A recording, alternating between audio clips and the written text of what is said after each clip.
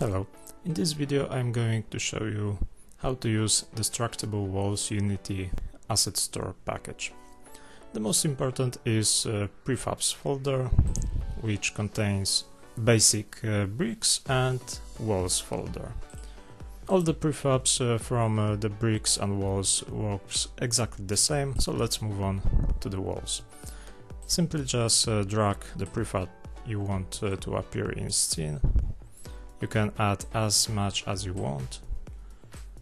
Just move the added uh, prefab to create walls or buildings. If you just uh, drag uh, the prefabs uh, to the scene, it will work pretty much like this.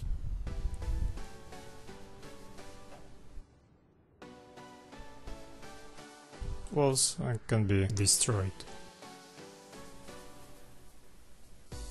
And this is it. If you want uh, to change uh, the behavior of your walls, you got few options uh, to choose. First one, very important, is uh, text options. Uh, you can change uh, the size or change the name of first element. The name of element is name of tag, which will destruct your wall so you can add uh, more or just change uh, this one.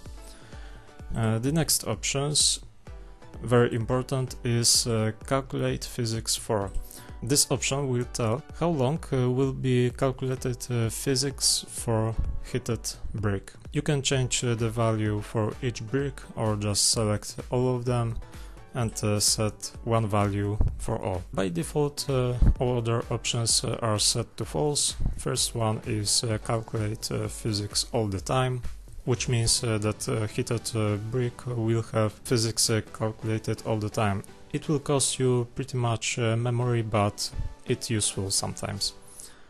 the second option is destroy heated objects.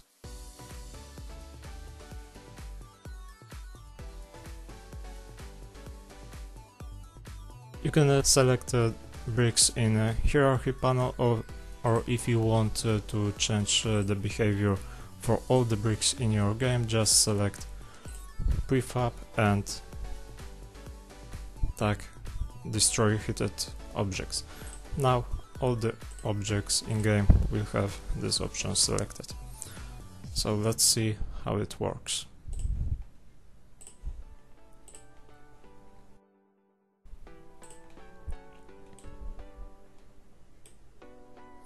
You have to keep in mind that only objects uh, that uh, get hit will be destroyed.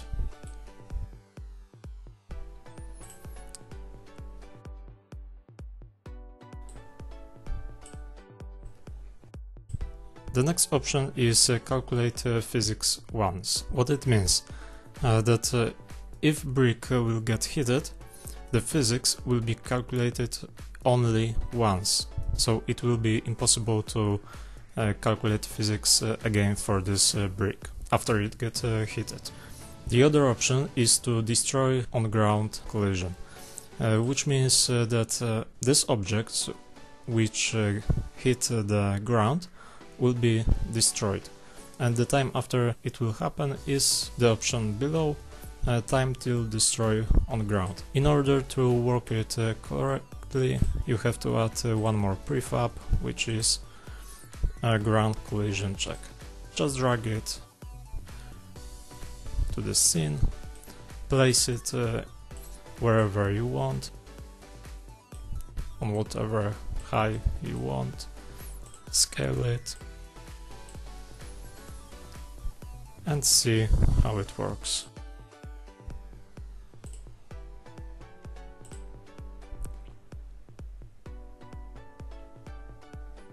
Now after 2 seconds all the objects will be gone.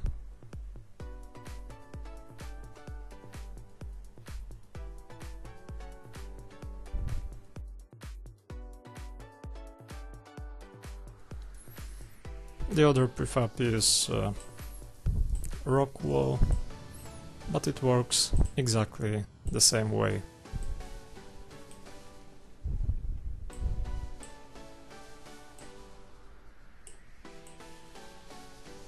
Just place it on the scene